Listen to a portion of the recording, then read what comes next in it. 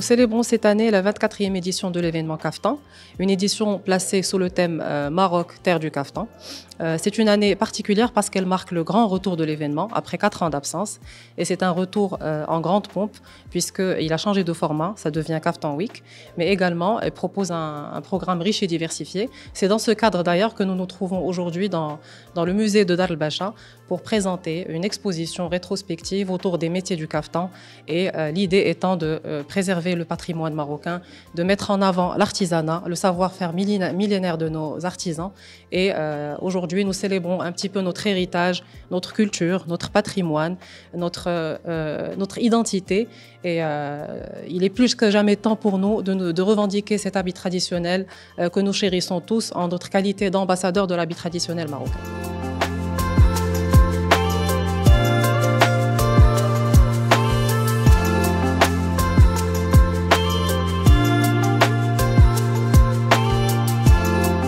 Alors, le musée des confluences d'Al-Bacha est un musée géré par la Fondation nationale des musées. C'est un musée qui se trouve à Marrakech et qui est euh, inscrit dans un cadre magnifique qui est Dar el-Bacha. C'est un bâtiment euh, de style marocain traditionnel de l'architecture citadine marocaine qui a été construit par le Bacha el-Glaoui euh, pendant le début du XXe siècle. Alors, nous avons actuellement deux expositions. Une exposition qui est liée à l'importance de la boiserie au Maroc et qui met l'exergue sur l'importance du bois au Maroc en tant que patrimoine à cheval entre le patrimoine, euh, je dirais, naturel et le, patrimoine culturel.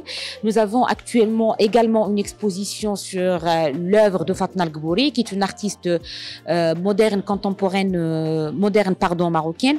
Et nous avons en fait une collection de ses œuvres qui ont été réalisées entre 1982 et 1990.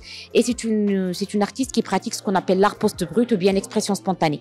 Mais pour quatre jours, nous avons prêté l'espace d'exposition euh, temporaire à une exposition éphémère du caftan marocain à travers une collection magnifique de caftan, ce qu'on appelle, c'est ce qu'on appelle une collection ethnographique, c'est-à-dire des, euh, pièces à caractère euh, anthropologique et ethnographique de valeur incontournable. Ce sont des pièces qui ont été réalisées généralement entre le 18e siècle et le début du 20e siècle. Et nous avons des pièces qui représentent un peu les différents styles du caftan marocain, le style de Rabat, le style de Tétouan, le style de Fès, le style d'Oujda et le style de Marrakech.